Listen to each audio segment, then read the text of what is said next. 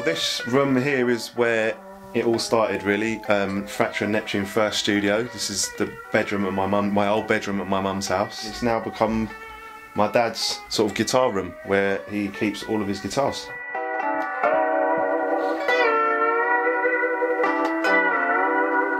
These are some of my dad's guitars that he's built. I suppose they have had quite a big uh, influence on the on the sort of design of the of the Astrophonica sort of label and the and the font and the kind of just the kind of feel and the ethos almost Yeah. of the whole label, isn't it? we were up here in this very room we were writing a tune called Ventura and we had kind of got um, halfway in something like that and we'd kind of come up with a melody um, that we wanted to put in the tune it fitted everything else the kind of little everything we'd put in so far this this particular sort of little melody really fit but we just couldn't find anything to do it Wasn't the right instrument. couldn't find it. We tried like all plugins and samples and probably even trumpet, everything.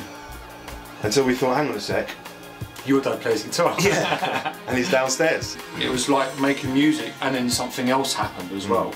Um, the word epiphany's been used before, so that I think that you know just it clicked, and um, you know we wanted to continue along that same vibe really. Yeah, which we have done for a, a new track called Customtone, which again features the exact same guitar and it kind of moves on. It's kind of like the follow-on from Ventura almost.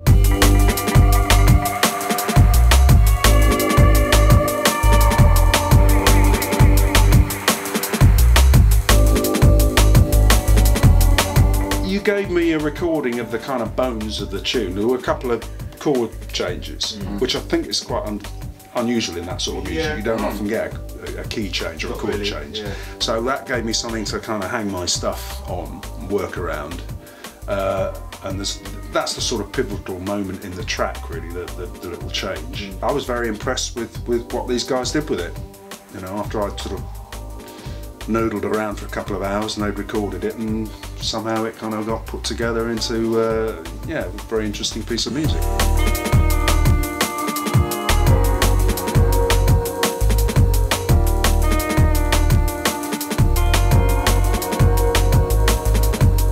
We recorded direct from amp uh, with a condenser microphone uh, and like just took load did loads of takes and loads of jams and I think what we wanted to do was try and keep it as live as possible you know obviously with the software and all of that we had the chance and the ability to chop it all up into tiny little bits and kind of put it all back together but we wanted to try and keep the the sort of It live sound Yeah, it still sounds organic almost. Yeah. If you start chopping things up too much, it can start to sound. You can hear it almost. The live element was key to what the sound was supposed to be, and the less we did to it, the more effective it sounded.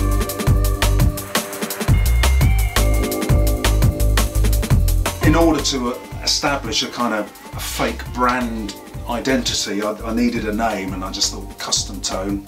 Partly because the lettering looked nice. It's nice having that kind of C at the beginning and a couple of T's it sort of flows nicely you got yeah you got a C and then the T's and then the rest of the letters are all quite even you haven't got any letters there which kind of break up the flow of the of the, the lettering so um, the name was partly dictated by by what it looked like. So yeah, all these, although they've got, all got their individual names, they are all Customtone brand.